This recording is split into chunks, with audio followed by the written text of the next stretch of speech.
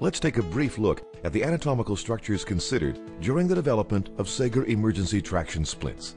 A careful examination of the human pelvis reveals that the ischial tuberosities are located half the distance between the lateral femoral shafts and the central symphysis pubis.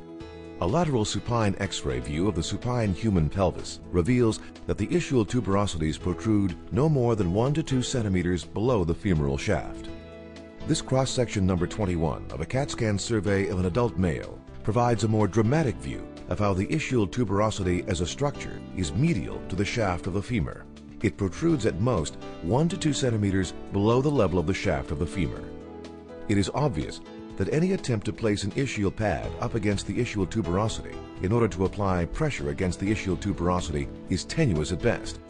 More often than not, the ischial pad will either slip off the ischial tuberosity, resulting in a sudden loss of countertraction, or push up on the femoral shaft and intervening structures. The most important of these nerves, arteries, veins, and tissue is the sciatic nerve, which lies just below the medial edge of the femur. This is why many orthopedic specialists are concerned about countertraction against the ischial tuberosity from under the shaft of the femur. Let's take a look at an intertrochanteric femoral fracture with a Hare splint in place with rope, 15 pounds weight and pulley for traction. The drum and traction knob have been replaced with a 15 pound weight and pulley to ensure that the force used is the same with both Sager and Hare. Note how the femur is pushed up into malalignment. Now let's take a look at an intertrochanteric fracture with a Sager emergency traction splint in place.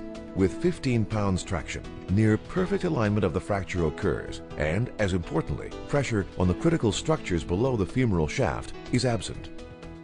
The Sager ischial perineal cushion, with its revolutionary articulating base, simulates the function of a Thomas full ring splint without the encumbrance of a full ring.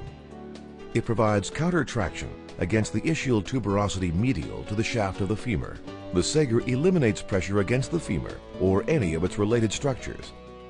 Alignment and traction is the same as that provided in a hospital operating room during open or closed reduction of fractured femurs. This survey radiograph of a CAT scan of a pelvis and upper thigh of an adult male clearly demonstrates that male genitalia is not interposed between Sager's ischial perineal cushion and the ischial tuberosity.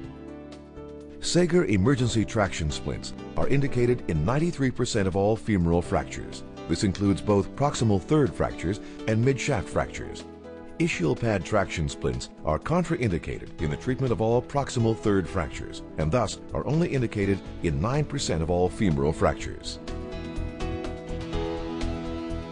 Sager emergency traction splints are the only traction splints available on the world market today to continuously show the exact amount of traction being applied. Besides being quantifiable, the traction is dynamic. The dynamic function permits the traction to decrease as the spasm releases. You always have the correct amount of safe traction.